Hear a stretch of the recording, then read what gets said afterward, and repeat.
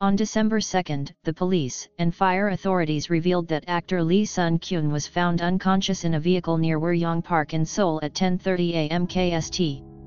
According to reports, the police went to the location after receiving a phone call from a woman that her husband wrote a note and left their house. The police found and identified the actor and was taken to a nearby hospital but he eventually died. They also revealed that they had found lit charcoal briquettes in the car suggesting that Lee Sun-kyun had chosen an extreme choice and the death was caused by suicide. Actor Lee Sun-kyun passed away at the age of 48. Back in October, the public was shocked by the reports of Lee Sun-kyun being accused of using illegal drugs. He was reportedly exposed by a woman who is the head of an entertainment establishment in Gangnam. Because of this, Lee Sun-kyun has been under police investigation for using illegal drugs until recently. Lee Sun-kyun tested negative on different tests from the National Forensic Service.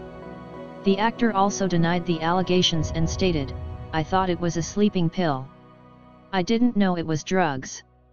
The actor also stated that the only evidence related to his drug administration was the statement of the head of the entertainment establishment in Gangnam. He asked for the woman to have a lie detector investigation to examine her credibility. The last project that Lee Sun-kyun starred in was the hit film Sleep with Jung Yu Mi. It was released last September of this year. Lee Sun-kyun was supposed to lead the upcoming movie The Land of Happiness.